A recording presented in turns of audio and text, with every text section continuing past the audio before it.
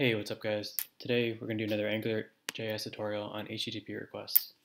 So to get started, I have this HTML document here where I added the mo main module here with the main controller. And then I import Angular library here, the Angular route library, which we shouldn't need for this one, and then just an external script. So let's go to the script tag where I create the main module and the main controller. And in the main controller, let's pass in HTTP, the service. So this is available in the main Angular library, and you don't have to import any other external libraries for this. So for this tutorial, since Angular, or since Google Chrome doesn't support cross-origin requests on local files, we're going to have to use uh, Firefox. So I have this external data um, file where I have just some simple weather data uh, there is it's an array of objects with the day, the name of the day, a description of the weather that day, and the temperature. So in the main controller, let's use the HTTP service here and make a GET request to get that data, and then we can display it on in a table on the main index.html page. So let's go ahead and just make sure we don't get any errors when we run this. So if we refresh, if we go into that file, uh, we've got to run it in Firefox. So we do open with and then Firefox. We don't get any errors and it looks good. The file is found. So the console, no errors. So let's go back and make a http.get request. So this is going to be to the data.json file. So HTTP um, service has multiple functions you can use with it you do .get, .post. In this case, we're going to do .get, a GET request to get a file. And the first parameter is the name of the file, the URL. So it's going to be data.json. And then you could chain on a callback function. So once this is done, it, the http.get function returns a promise. So you say dot .then, and you pass in an anonymous function with that gets the response.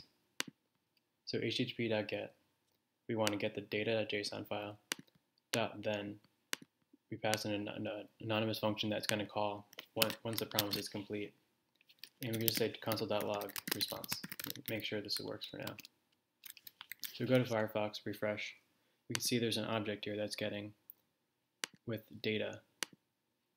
So all HTTP requests return this object with other things that we don't really need, such as like the headers, the status, um, configuration. I mean, they're useful in some cases, but in this case, we're, we're trying to do a simple um, GET request. So we could just say, um, we say let data equals response data. And we say console dot log data. So the object that's returned has a key called data, and that's where all the data that we were looking for is. So we just say data equals response data. So let's refresh see what the data looks like. So we have the object with the key weather, and that's an array of all these objects for the weather for the next week. So let's go back and we add this to the scope. So let's inject the scope to the main controller just by adding the parameter to the function. And then once the, this uh, get request is called, we'll say scope.data equals response.data. And then we don't really need this extra local variable here, so we can get rid of that.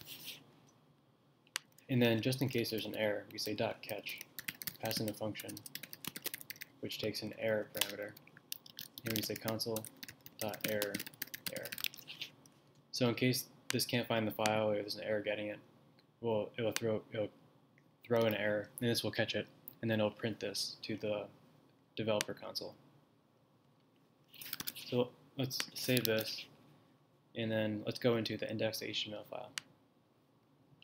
Okay, so here we have the main module here on the HTML tag and a main controller, which has scope to the entire document here. So let's go ahead and add a table here, which is going to display our data. Let's add a border one, just to make it look a little nicer.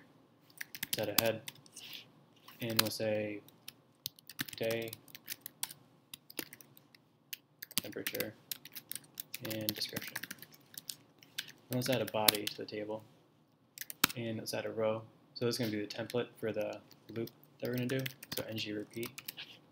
And for each row in the data, um, and in, in, fact the data is in is not in response.data. We want response.data.weather because in the data.json we're going to, be returning this whole thing. So we want the array of weather data.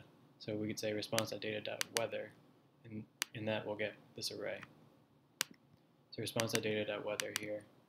And then when we loop through this, we'll say day in data.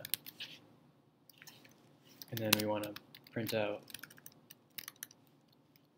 day dot day. I'll just copy this one. Let's see what we called it. So day description and temp. So temp and then description. Okay, so this should be we should be all set now. So we just add a title, maybe say weather data. So now if we go to Firefox, refresh the page, we should see that's loading all the data from that external file and then printing it out in the table here. So it's just a simple example of, for example, doing like a REST API call. So if you have a server that returns data from a database, you can make a call the same way we did here.